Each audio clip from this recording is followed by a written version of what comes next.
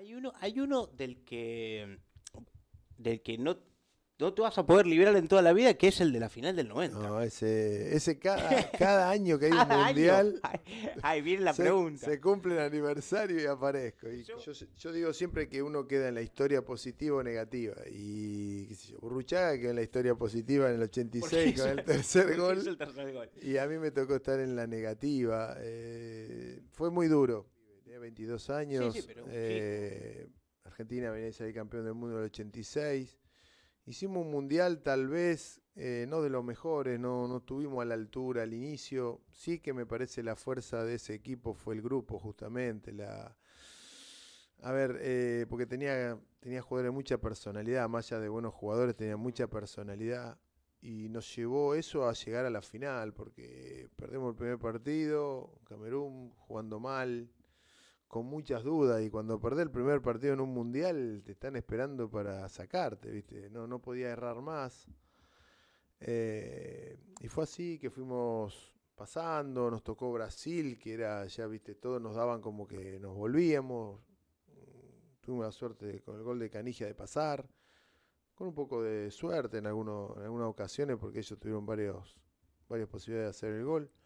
Se escuchaban los palos, ¿no? Y sí, Eh, en ese momento era el caño, ¿no? ya lo En era tenemos. muy de Carlos caño, decía, ¿eh? ya lo tenemos, ya lo tenemos. Llegaban de todos lados. Atacaban los dos laterales juntos, llegaban al área. cosa- Bilardo decía, ya lo tenemos. ya lo tenemos.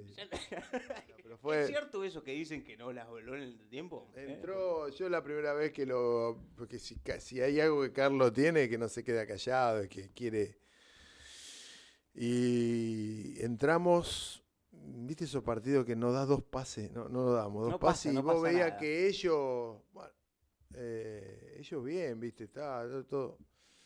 Y entra.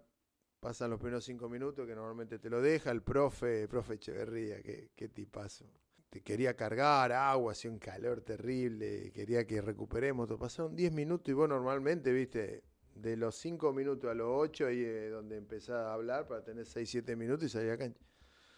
Nada, dice, muchachos, faltaba ya los 12 minutos, ya está.